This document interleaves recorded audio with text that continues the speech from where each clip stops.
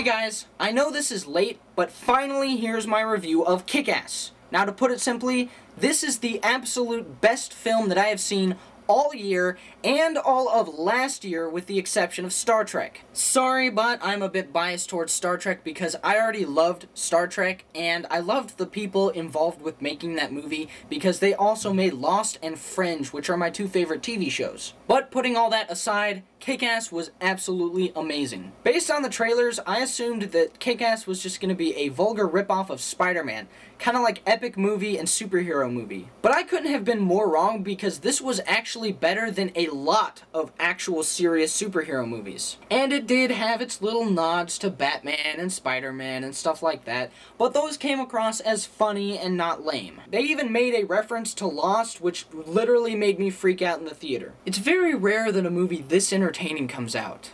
It had fantastic action, great comedy, and even had some moving scenes that you would not expect from a film with a title like Kick-Ass. I feel like I should list out some flaws in this movie, but to be honest, I can't really think of any.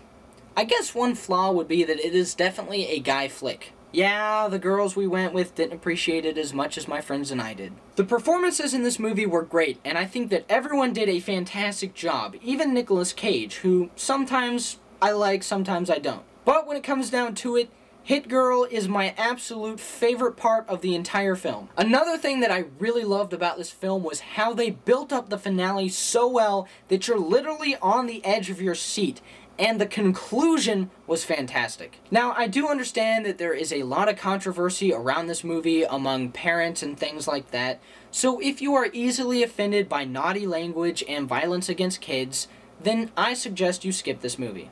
If you love action-packed hilarity at its best, then go out to the theater right now and see this movie because unfortunately, it is getting destroyed in the box office and it could really use some support. Trust me, I loved every minute of this movie. I will definitely be getting this on DVD when it comes out and hopefully the DVD sales will kind of make up for the flop at the box office so maybe we can possibly get a sequel. I'm going to give Kick-Ass a very strong 9.5 out of 10. If you've seen Kick-Ass, let me know what you thought by leaving me a comment down below, and if this is your first time to my channel, please subscribe for future movie reviews. Thanks for watching, and I will see you guys later.